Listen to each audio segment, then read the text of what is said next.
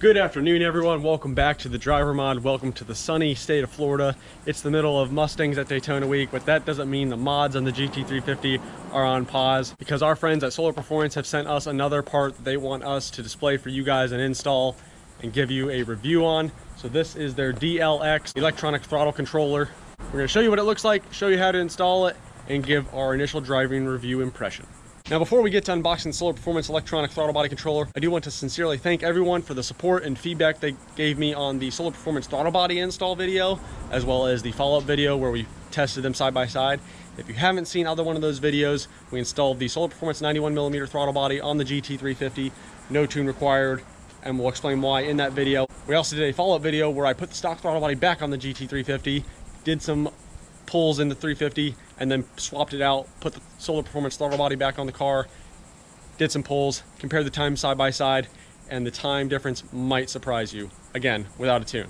So because of that positive feedback, support, and interest in the product, we've got another product for you to try out. Let's get started with the install.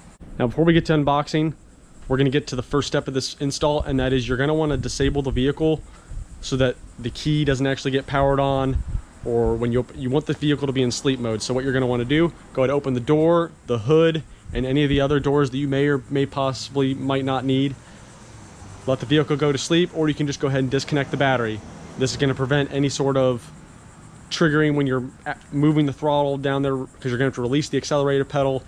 Um, so just that small actuation might wake up the computer and it might end up setting the check engine light in your car. The next time it fires up might be in limp mode. So to make sure that doesn't happen, make sure the car's in sleep mode or disconnect the battery.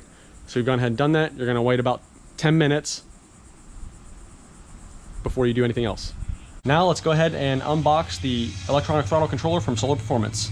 So this is the packaging it comes in. It's a little about four by six inch box.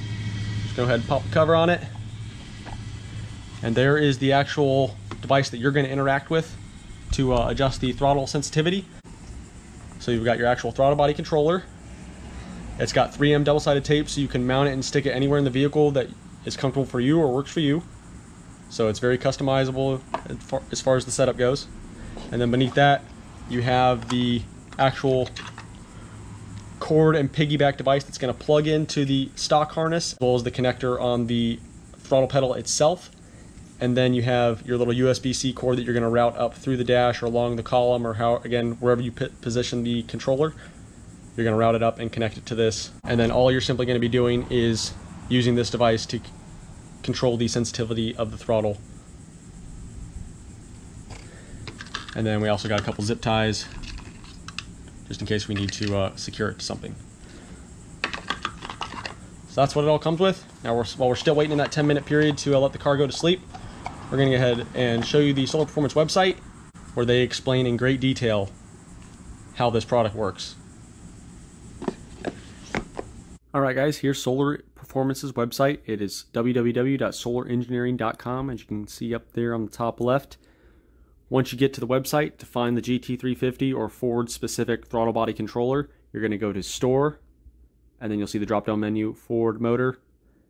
That's going to bring you to their Ford products that they offer and you'll see the throttle body controller right there. It covers a variety of models. It is the SEO 622 Tech TC. You can see, here's the product right here. It goes over all the generations and Ford vehicles that it, it will work with. They also have a couple good diagrams to kind of show you what the throttle body controller can do for you. So again, I mentioned the multiple different settings and modes that the throttle body controller has, each one creating a different sens throttle sensitivity. So as you can see, for example, in eco mode, which is the green portion of the graph here, when you're at, you know, like 50% throttle, it's only giving you about, you know, 35, 40%, and then it kind of goes up from there. Whereas sport mode, 30, 35% throttle is giving you about 80% throttle. Ludicrous mode and drag mode are supposed to be for track use only. Now within each one of those modes, you have nine different settings to choose from to further fine tune it to your comfort and liking. Here are all the different modes and what the throttle body controller display is going to look like, what each one of the buttons does. You have your fine tuning button on the right, the mode select button on the left,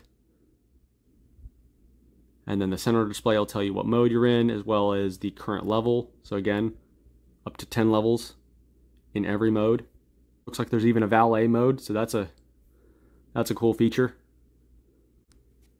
So now that you've seen what the throttle body controller can do for you, let's go ahead and show you how to enter the promo code they gave us, which is going to give you 10% off your order. So you're going to add the throttle body controller to your cart, hit checkout, and go down where it says discount code and type in TDM 350 and that's going to get you 10% off your order. Save you about 20 bucks now it's been about 10 minutes so let's go ahead and get to the install all right so we're in the driver's side footwell and we're going to kind of show you what we're looking at first off you want to have a good light source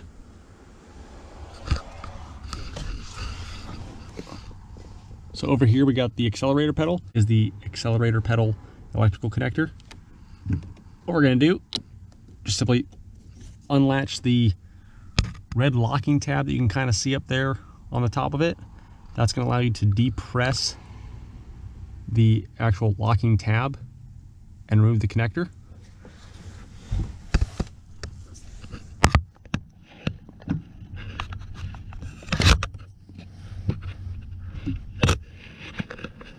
So just push the tab and pull the connector up. Next, we've got our Soler Performance Throttle Body Piggyback connector. So we're gonna go ahead and plug this end into the accelerator pedal and then the male end into the OEM harness. Space constraints, gonna try and show you everything we can possibly show you. So the end with the red locking tab, that's gonna go on the accelerator pedal itself. It only goes on one way, so don't force it. Once you get it fully connected and you hear it snap in place, go ahead and put the red locking tab down in the lock position. Then you're gonna connect, again, the male end to the OEM harness. This also only goes one way. Align the centering portion of the connector there, fully seat it, snap into place, and push the red locking tab down so it's flush with the connector. So After a lot of trial and error, the length of the pigtail is what the limiting factor is here. There isn't enough harness in order to securely mount it in a way that I felt comfortable with on that plate or anything else. There's really nothing else that's within reach. Uh, to mount the uh, piggyback box there. So what we did was I put a piece of 3M tape on the one side of the box stuck it to the side of the throttle pedal assembly right there so that the harness is out of the way of the pedal and the steering column. And then using one of these supplied zip ties, I loosely wrapped the harness around the top side of the pedal underneath the connector. So now we can route the harness from the box that you see there pointing at us. We're gonna route that harness up through the dash to the throttle body controller. Now where you mount this, again, is all going to be based on personal preference and taste, uh, keeping in mind that you're going to want to be able to read the display and be able to access it relatively easily. So I would avoid putting it directly like behind the steering wheel, on top of the steering column. But again, it's all up to you. Before you remove the double-sided tape um, backing, I would place this roughly about where you want to position it and then route the harness to make sure it even reaches the actual port. Otherwise, then you're going to be stuck having to remove this and likely the tape isn't going to stick as well that second time. So mock this up in the position that you want, route the harness, connect it, make sure it's not strained, tugging on anything or in the way of anything. And if all's good to go, go ahead and stick this down and secure the harness. So I'm going to go ahead and position this, run my cable how I like it, and then show you how I did it and where I put it. This is how we decided to mount the Soler Performance throttle body controller, and we're going to explain why. The GT350 Dash doesn't have a lot of flat square spaces, even for this little piece. I thought about sticking it, you know, down here, down by the center console, but then you, again, you, you won't be able to really see it and read it. There's a nice spot right here, but then it kind of covers the vent right here as well as it's behind the steering wheel. I mean, mounting it on the side of the steering wheel column was kind of pointless. And there's really no way to mount it up here without it really kind of like being in the way. And then next I thought about mounting it down here, but because the cord mounts on the right side of the piece, it would interfere, I think, with the cigarette lighter too much. Over here ended up being the, in my eyes, the best possible situation to put it. It's at a downward angle, but it's far enough away from the steering wheel that you can clearly see it. And then I'm able to tuck the entire harness behind the dash immediately from the connector.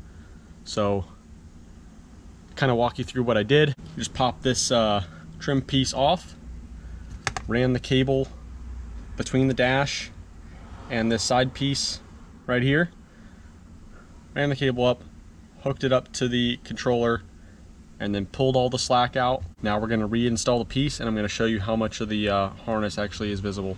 Now we got the trim piece installed and as you can see, in my eyes, that's pretty much as clean as it's gonna get. You're gonna see little to none of the harness. Got it all tucked away. Now we're gonna take all the slack that we have underneath the dash and secure it so that it's out of the way of the pedals in the steering column. And then I'll show you the finished product. All right, so what we did with the harness, kind of just ran it immediately straight out towards the uh, the front of the dash here and then we just ran the harness down this OEM harness right here and then we doubled back and just kept doing that until we got all the slack out and put one zip tie around it to secure it made sure we kept all the OEM harness and the soler performance harness away from any of the sharp edges on the dash made sure all the slack was taken out so it doesn't interfere with the pedal steering column, or any of the other pedals. Now we can go ahead and test this thing out.